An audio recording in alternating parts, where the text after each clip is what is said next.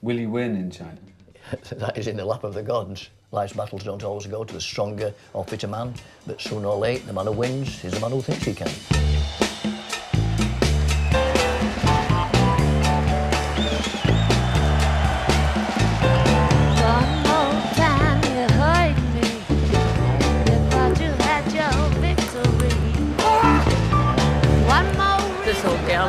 I don't care how good she is, I should get her. She can't move. You should never count your chickens, darling, before your eggs get hatched.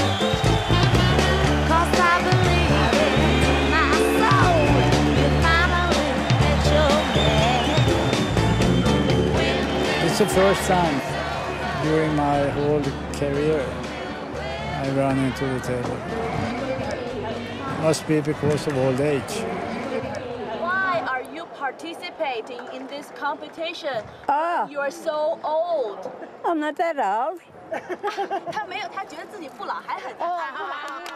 I lost my husband and daughter, and I was playing table tennis, and I think that saved me. It's something to do, something to keep my mind together. I've had two lots of cancer, but the doctors always said, and the consultants always said, oh, keep playing, keep playing. I don't want to go home and watch television and then just die.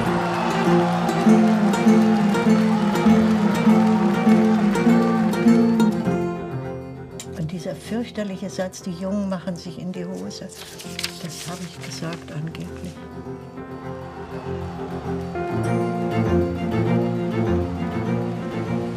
Begin to value your time more as, as one gets older. As you get nearer the winning post, you only think, well, what is at the other side of this barrier?